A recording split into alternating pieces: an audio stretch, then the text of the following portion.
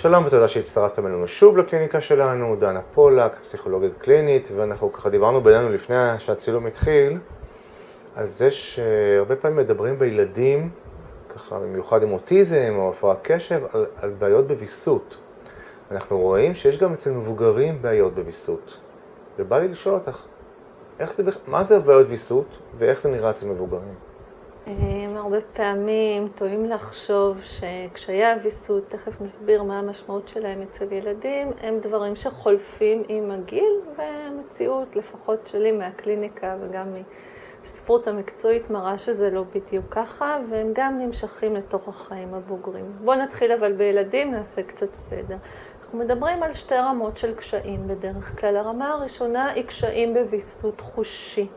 אותם ילדים שבעיקר אלו שהם על ספקטרום אה, הפרעות התקשורת, או מה שקרוי ה-PDD, חולקים את זה גם ילדים שיש להם קשיי קשב וריכוז, או מה שמאובחן כ-ADHD בדרך כלל, וזו רגישות גבוהה לגירויים שמגיעים מבחוץ.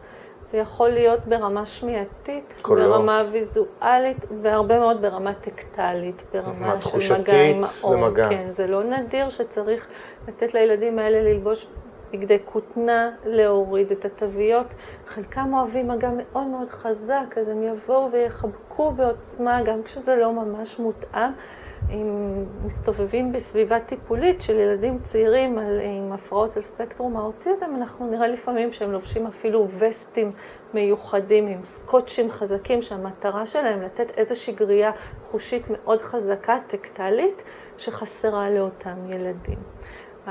הרצף השני של קשיי ויסות הם יותר בתחום הבקרה, ההתארגנות, מה שאנחנו קוראים תפקודים ניהוליים או אקזקיוטיביים, היכולת של האדם ליעילות עצמית, לשליטה עצמית, כשההפך הוא בעצם אימפולסיביות, וכאן אנחנו באמת מדברים על אה, הפרעות שהן על רצף אה, קשיי קשב וריכוז, שמופיעה הרבה יותר התנהגות אימפולסיבית, קושי לתכנן, קושי לבקר, קושי לווסת, לפעמים אפילו קושי בתכנון לטווח ארוך או בהתנהלות עם זמן. שלא מצליחים לדחות סיפוק וצריכים למשל, כאילו את המימוש נכון. המיידי. ואני רוצה לאכול עכשיו.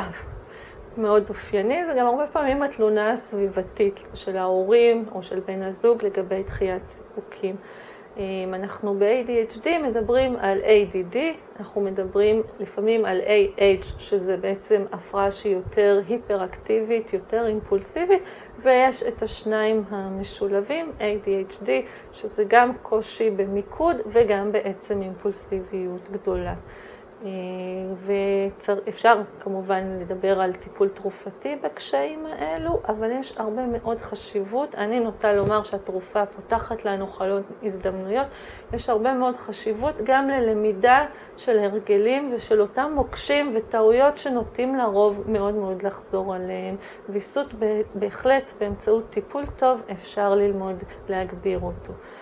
עכשיו, זה החלק שבעצם לרוב אנחנו לא רואים מבוגרים עם אה, קשיים בוויסות התחושתי, זה באמת משהו שעם ההבשלה של המוח נוטה יותר להיעלם או לרדת בעוצמה שלו. עדיין נראה מבוגרים שמאוד רגישים לפעמים לרעש, אבל זה לא בעוצמה הזאת של הילדים שתיארתי, אבל דווקא אותו מרכיב אימפולסיבי של הקשיים בתפקודים הניהוליים, האקזקיוטיביים, של היכולת של אדם לנהל את רצף היום, את כל מטלות החיים, לטפל בבית, בילדים, בזוגיות, לשלם חשבונות, להיות בעבודה, לנהל שם לפעמים כמה תחומים בו זמנית, זה מעמיס מאוד על אותן אה, פונקציות ניהוליות.